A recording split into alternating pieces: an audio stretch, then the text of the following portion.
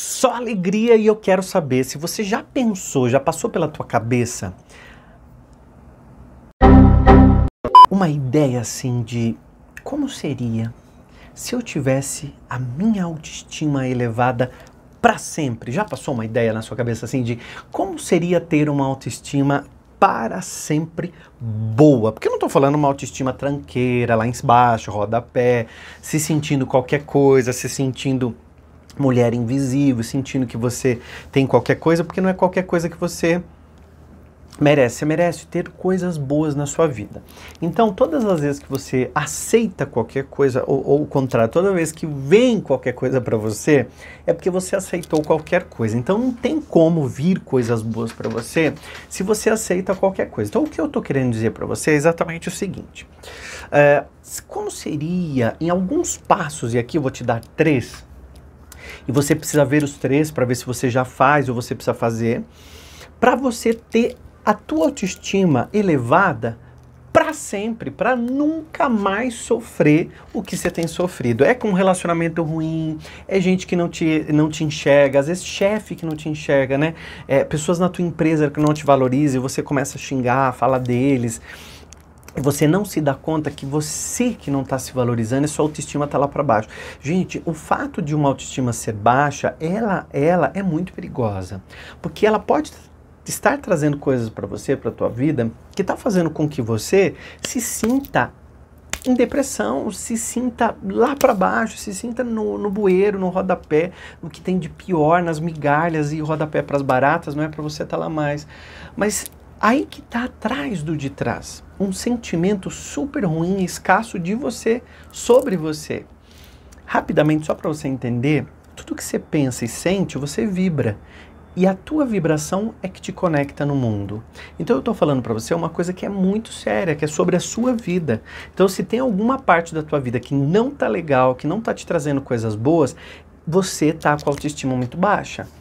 E que bom que você clicou nesse vídeo para poder trazer uma autoestima boa, né? Trazer uma autoestima elevada. E a primeira coisa muito importante de você é, trazer uma boa autoestima, de você ter você ali uh, em, nas suas mãos em, em, em lugar bom, em, como é que se chama assim, no pódio, né, em primeiro lugar, é você parar de culpar os outros. Ah, William, mas lá vem você com essas ideias, com essas coisas de trazer a culpa pra gente.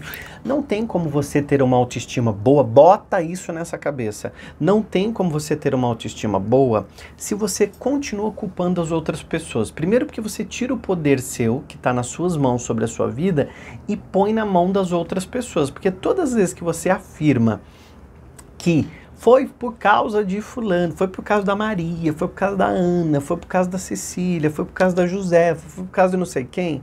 Você está colocando a tua vida e o poder e a força que você tem na mão dessas pessoas que você está dizendo que a culpa é delas. Então tira a culpa das pessoas e assume a tua postura de protagonista na tua vida. O primeiro passo para você melhorar a tua autoestima. Senão nem continua, nem continua a tua busca de melhorar a tua autoestima. Porque enquanto você estiver procurando receitar receitinha pronta para melhorar a tua autoestima.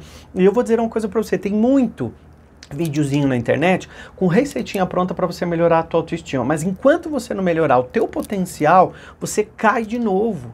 Então você vai lá para o fundo de novo, porque você não melhorou a tua essência. Então o primeiro passo muito importante é tirar a culpa dos seus problemas, da tua vida, do teu fracasso, das coisas que estão te acontecendo. Tira a culpa da mão das outras pessoas. Primeiro porque não existe culpa. Culpa é um sentimento horrível.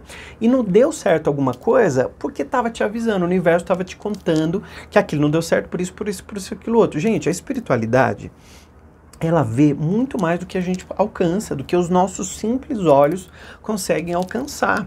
E você não está se dando conta disso. Então você acha que tinha que dar certo e não deu por culpa de não sei quem. Não deu porque aquela pessoa não fez o que deveria ter feito. O universo se conecta com a tua energia. Então, de repente, aquilo não seria bom para você. Aquilo para aquele momento não traria benefícios como você acha que, que deveria trazer. Então, eu estou te falando a realidade, né? Como dizem na gíria, eu estou te mandando a real. E essa realidade nossa hoje aqui só pode ir para frente, só pode prosperar e só pode avançar quem realmente tiver coragem de tirar a culpa da mão das outras pessoas e olhar para si, porque até o que fizeram para você foi culpa tua, porque foi você que trouxe. Enquanto você olhar para você assim como vitiminha, como coitadinha, como coitadismo, mais disso vem para você, mais você repete. Ai, porque ele me traiu, porque eu fui boba. Não, você você atraiu esse homem, você foi um terreno fértil. E essa, esse fato de você se fazer de vítima, falando eu fui boba, eu deixei com que ele me enganasse. Esse é o papel de vítima, que está sofrendo, que está vibrando na, na, na gemição. vibrando na gemição, né? Que tá, tá gemendo demais. Gente, para com essa coisa de, de reclamar daquilo que você se livrou daquilo que você deu um salto, daquilo que você mudou a tua vibração, você foi até para outro caminho, você arrumou outro emprego, você arrumou outro namorado, ou você está num momento super legal que é você com você. Se você acha que o outro vai te fazer feliz, você, eu tenho que te contar, você precisa estar tá bem com você mesmo, porque daí o outro chega primeiro, ele não vai te fazer feliz, e segundo, você não vai perturbar essa pessoa, porque você está bem com você, você não vai ficar perturbando o celular, perguntando onde ele está, mandando tirar foto, é, é, ver, cheirando camisa, não é mais cheirar a camisa, né?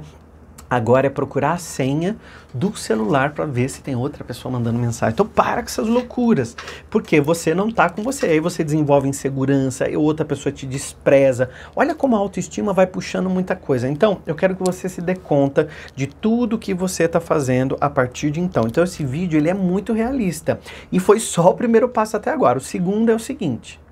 O segundo passo é você assumir o teu papel é assumir o teu papel de protagonista e nesse momento você traz o seu poder.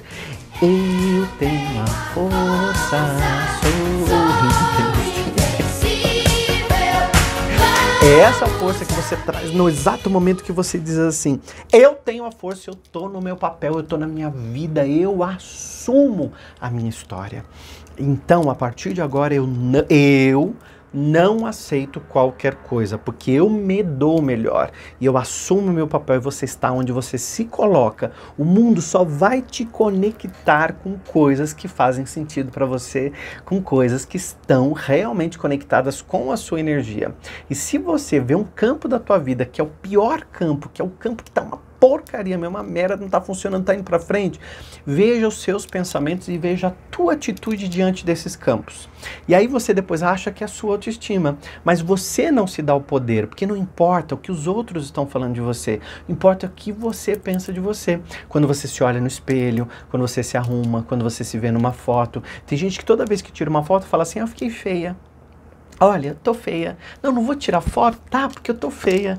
Não, não, não fico bonita. Eu não, nunca me acho bonita numa foto. Caramba, como é que o outro vai te achar bonita se você sempre se acha feia? E todas as vezes você vai repetindo para você: não me acho feia, me acho feia, eu tô feia, eu tô gorda, eu tô velha, eu não dou mais para isso, eu não para isso, para aquilo outro, blá, blá, blá.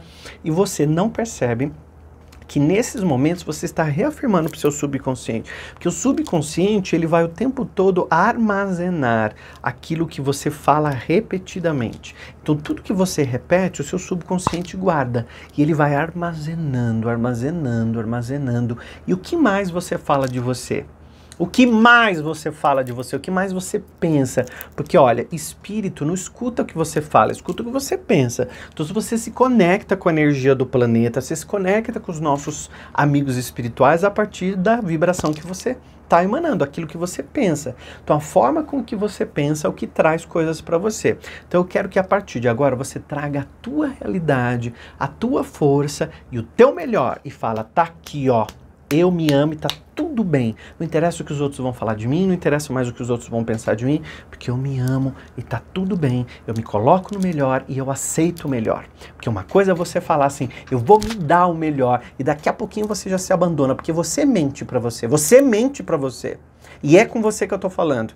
Quantas vezes você disse que ia fazer academia e chegou no dia e você não foi fazer. Quantas vezes você disse que ia começar uma caminhada e começa o dia de fazer caminhada, suas coleguinhas estão lá fazendo caminhada e você dá uma desculpa qualquer, se sabota, porque não tem tempo, que tem muito serviço dentro de casa, que tem isso que tem que fazer aquilo outro, e você se sabota e você mente para você. Que você vai mudar a tua vida, que você vai cuidar mais da tua parte espiritual, que você vai cuidar da tua fé, que você vai fazer um curso, que você vai ler um bom livro, que você vai fazer isso, vai fazer aquilo outro, e depois você não faz.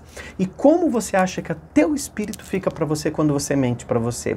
E é nesses momentos que você precisa perceber onde você está se colocando. Se você está se colocando no melhor, você está se colocando no pior. Se você que se coloca no pior, é mais do pior que vem para você, porque tudo aquilo que você pensa vê, você amplia. E o terceiro passo, assim, para você blindar a tua autoestima, pra você ficar com uma autoestima blindada e para sempre você levar essa autoestima muito boa, é você desassociar você das suas emoções negativas. Desassocia você das suas emoções negativas. Então você faz uma dissociação, porque você não é as suas emoções negativas. Presta atenção, emoções elas vêm e vão. Então elas vêm e vão, essas emoções. Então deixa passar. Hoje você não tá legal, tá mais quietinha, tá com vontade de ficar com você mesma. Fica! Caramba! Ah, eu não tenho vontade hoje de cozinhar, não tenho vontade de fazer nada. Bota os outros para fazerem o jantar e, e deixa as outras pessoas se virarem aí na tua casa para de fazer aquilo que você não quer.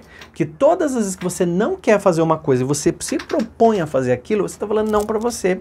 Até sexo, às vezes, quantas vezes você faz sem vontade porque você não tem coragem de falar para o outro, né? E para com essas crenças limitantes de falar assim: ah, a mulher tem que servir o homem. Não tem que servir ninguém. Muito menos homem. Se você não está com vontade, você tem que falar, dialogar, se comunicar. Para com esse tipo de crença limitante de você vir com essas crenças antigas de que a mulher tem que servir o homem, então, então tem que estar tá lá, se ele tiver vontade, você tem que servir. Você não tem que servir a ninguém, no máximo a você. Então, se você tiver com desejo, você faz. Todos esses pensamentos vão fazendo com que você fique da tua melhor maneira e a tua essência, o teu pensamento consciente e inconsciente vão dizendo para você, ela está em primeiro lugar, ela se coloca de uma maneira bacana, é aí que, que, que tá o segredo. E aí mais disso vem para você.